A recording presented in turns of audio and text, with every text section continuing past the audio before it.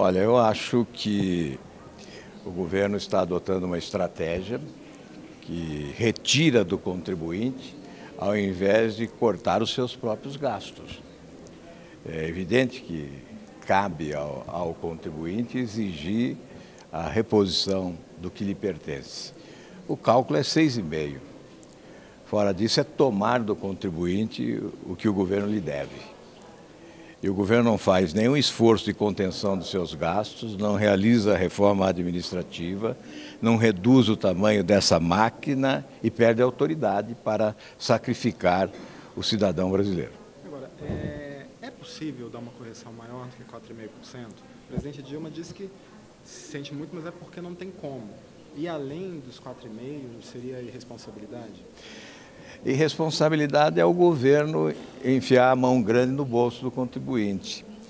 O governo tem como cortar gastos, tem como fazer um ajuste fiscal competente, reduzir despesas, deixar de ser perdulário e sacrificar menos o contribuinte no país.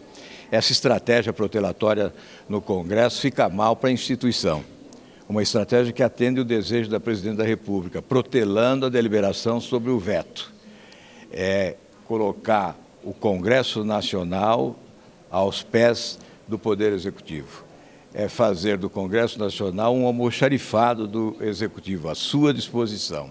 O Congresso tem o dever de atender esse reclamo popular e derrubar o veto presidencial. E tem condição desse veto ser derrubado? Há condições?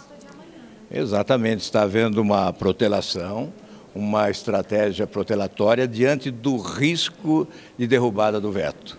Há sim possibilidade do veto cair, já que há manifestações na base aliada contrárias à sua manutenção. Há um desejo de se respeitar o contribuinte, que está sendo ludibriado com esse índice de 4,5%. O governo está tomando do contribuinte brasileiro aquilo que lhe pertence.